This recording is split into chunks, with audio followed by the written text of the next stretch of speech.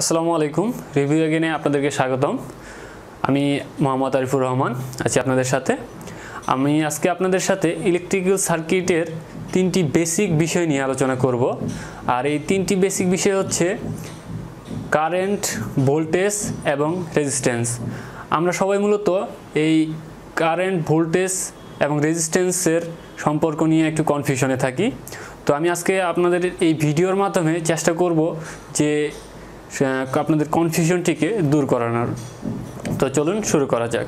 তার আগে আপনি যদি আমার চ্যানেলে নতুন হয়ে থাকেন, তবে অবশ্যই আমার চ্যানেলকে সাবস্ক্রাইব করবেন এবং পাশে থাকা বেল আইকনটিতে প্রেস করবেন, যাতে আমাদের নতুন ভিডিওর পরবর্তী যে কোনো আপডেট আপনার নোটিফিকেশনে পৌঁছে যায় দ্রুত।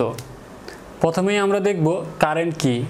কারেন্ট হচ্ছে ইলেকট্রিক চার্জের প্রবাহের হার। আরও ভালোভাবে বলতে গেলে, কোনো পরিবাহী বা ইলেকট্রিক সার্কিটের মধ্য দিয়ে যে ইলেকট্রিক চার্জ প্রবাহিত হওয়ার হারকেই কারেন্ট বলে।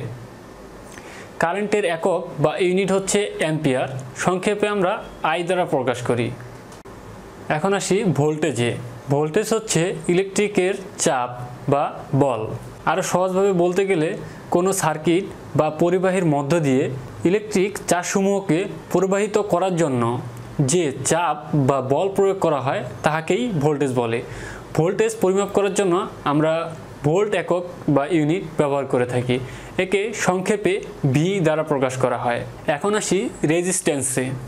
রেজিস্ট্যান্স হচ্ছে পরিবাহীর মধ্য দিয়ে কারেন্ট প্রবাহিত হওয়ার সময় বাধা সৃষ্টি করে। আর এই ধর্ম বা বৈশিষ্ট্যকেই রেজিস্ট্যান্স বলা হয়। রেজিস্ট্যান্স পরিমাপের একক হচ্ছে ওহম, যাকে সংক্ষেপে আর দ্বারা প্রকাশ করা হয়। এখন একটি সংক্ষিপ্ত উদাহরণের মাধ্যমে আমি বুঝিয়ে দিচ্ছি যে কারেন্ট ভোল্টেজ এবং রেজিস্ট্যান্সের মধ্যে সম্পর্কটি কী। তো আপনারা যেই পিকচারটি দেখতে পাচ্ছেন, এখানে রেজিস্ট্যান্স অ্যাম্পিয়ারকে যেতে বাধা প্রদান করছে, আর ভোল্টেজ অ্যাম্পিয়ারকে বল বা চাপ প্রয়োগ করছে। তো এই থেকেই বোঝা যাচ্ছে যে অ্যাম্পিয়ার হচ্ছে প্রবাহের হার।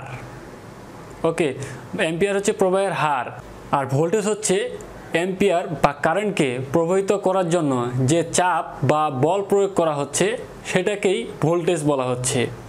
আর রেজিস্ট্যান্স হচ্ছে অ্যাম্পিয়ারকে বাধা প্রদান করার জন্য কারেন্টকে পরিবাহীর মধ্য দিয়ে বাধা প্রদান করা, যে বাধা প্রদান করা হয়, সেটাকেই রেজিস্ট্যান্স বলা হচ্ছে। আপনারা এই চিত্রে খুব ভালোভাবেই, স্পষ্টভাবেই দেখতে পাচ্ছেন। তো আশা করি আমার এই ভিডিওর উদাহরণের মাধ্যমে আপনি অনেক দ্রুতই বুঝে গেছেন যে কারেন্ট ভোল্টেজ এবং রেজিস্ট্যান্সের মধ্যে সম্পর্ক কি। তো আমার ভিডিওটি যদি আপনাদের কাছে ভালো লেগে থাকে, তাহলে অবশ্যই একটি লাইক দিবেন এবং আপনি যদি আমার চ্যানেলে নতুন হয়ে থাকেন তাহলে অবশ্যই আমার চ্যানেলটিকে সাবস্ক্রাইব করবেন পরবর্তী ভিডিওর জন্য। ধন্যবাদ আপনাকে।